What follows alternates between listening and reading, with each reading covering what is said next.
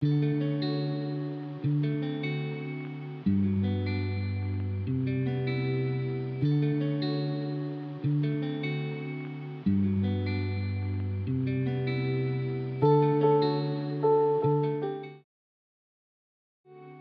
gimana nih, kalian setuju nggak kalau video yang barusan aku tunjukin itu estetik banget kan? Pastinya bukan cuma karena sunset view-nya doang dong, tapi memang ada barang-barang yang menambah keestetikan video itu jadi 10 kali lipat. Jadi udah ketebak ya, barang-barang itulah yang akan kita review di video Shopee Haul peralatan camping kali ini. Seperti biasa, halo semuanya and welcome back. Tanpa berbasa-basi lebih banyak lagi, langsung aja kita ke inti dari video ini. Nah, jadi di paket yang super besar ini udah ada tiga tas yang masing-masing isinya adalah sesuatu yang sangat estetik yang pastinya bakal kita bahas satu persatu. Anyway, ketiga tas ini isinya adalah satu set peralatan camping ya. Mulai dari yang pertama, ini barang-barangnya udah aku keluarin dari tas. Terus yang pertama ini untuk tasnya, dia ada bagian untuk tentengannya gitu. Dan untuk jenis dari tas ini sendiri, ini adalah tas serut ya. Nah, jadi bisa kalian simak sendiri di videonya, tinggal ditarik aja dan dia tasnya bakal keserut kayak gitu deh. Oke, jadi ini paket yang pertama atau set yang pertama udah aku buka dan bakal aku keluarin dulu dari bubble wrapnya. Beberapa dari kalian pasti ada yang udah bisa nebak kalau ini adalah meja lipat portable yang ukurannya gede banget sampai beberapa kali tadi kakak aku nabrakin ke tripod saking gedenya. Oke, jadi ini adalah satu set meja lipat yang mereknya kalian pasti udah familiar banget. Itu Spitz. Nah, Spitz itu buat kalian yang suka camping. Ini aku gak tahu kakak aku ngapain.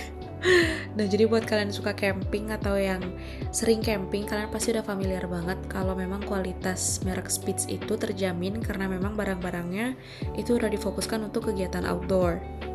Dan di satu set ini kita udah lengkap banget, udah dapat beberapa bagian yang bakal aku jelasin satu persatu. Anyway, sebelum lanjut ke review mejanya, aku mau kasih tahu dulu untuk satu set yang udah lengkap banget ini harganya cuma 240.000 dan ini ukurannya gede banget. Nanti detailnya bakal aku kasih lihat di layar. Dan udah lengkap mulai dari kaki penyangganya nih yang lagi aku jelasin di sini yang bener-bener nggak ribet karena tinggal direntangin aja Terus untuk cara rakitnya ini ada dikasih dua pasang besi yang di mana satu pasang itu beda ukuran jadi ada yang panjang dan pendek dan itu dikasih dua pasang untuk um, nyambungin antara sisi yang satu sama sisi lain dari meja ini sendiri. Terus untuk cara rakitnya bisa kalian simak sendiri ya. Jadi pastiin masing-masing lubang yang ada di besinya itu tinggal kalian sesuaiin sama besi atau baut yang udah ada di bagian yang warna hitam itu di bagian kaki penyangganya terus tinggal didorong sedikit untuk ditekan dan dia bakal kecetek sendiri it's ini ada kalkun Oke, jadi intinya kayak gitu dan untuk bagian atas sama bawahnya sama aja ya cara pasangnya.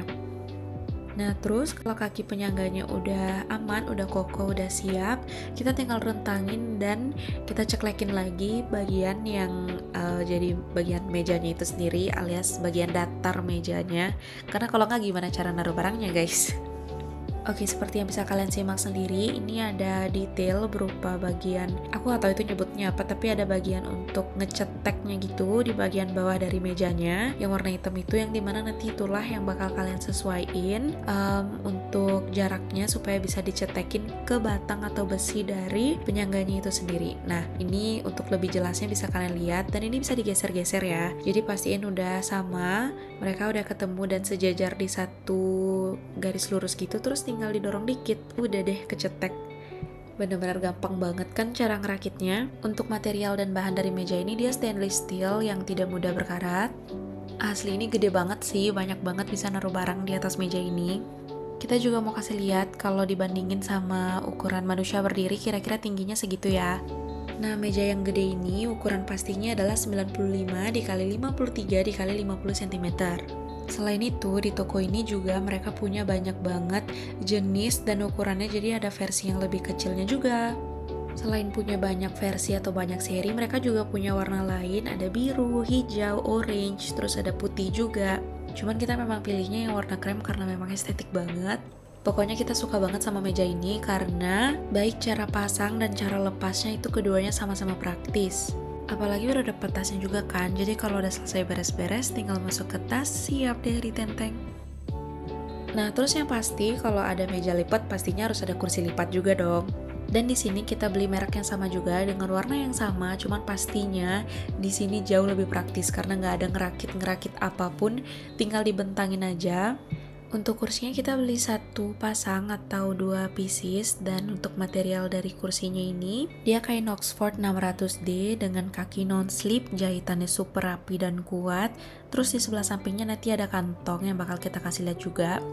Anyway, untuk kursi kita ini yang ukurannya XL, jadi dia tingginya 58 cm, lebarnya 36 cm, dan untuk tinggi dari bagian paling bawah sampai ke alas dudukan kita itu, itu 30 cm. Nah ini dia kantong di sebelah sampingnya bisa dipakai untuk nyimpen HP atau bisa dipakai untuk nyimpen apa aja terserah kalian jadi bisa kalian ambil sesuka hati sewaktu-waktu pas lagi duduk.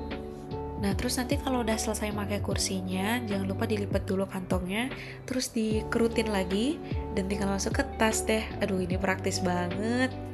Saking semangat dan excitednya aku sampai hampir lupa ngasih tahu kalian harganya. Untuk yang varian XL ini harganya cuma 52.800 dan mereka punya varian lain. Mulai dari ukuran sampai warnanya juga mereka punya banyak banget, jadi silahkan dikepoin setelah ini, oke? Okay? So itu dia video haul kita kali ini Makasih banget buat kalian yang udah nonton videonya sampai akhir Aduh guys, coba deh kalian perhatiin videonya lagi sekali Cuman dengan kursi dan meja yang udah kita review tadi Bahkan kita cuman healing biasa di teras rumah aja bisa kelihatannya kayak chilling yang ke mana gitu Jadi kayak keren banget dan estetik So jangan lupa kalau kalian tertarik, semua link produk udah ada di description box. Silahkan kalian cek langsung di sana ya. Segitu dulu video kita kali ini. Terima kasih banyak sekali lagi dan sampai jumpa di video berikutnya. Bye bye.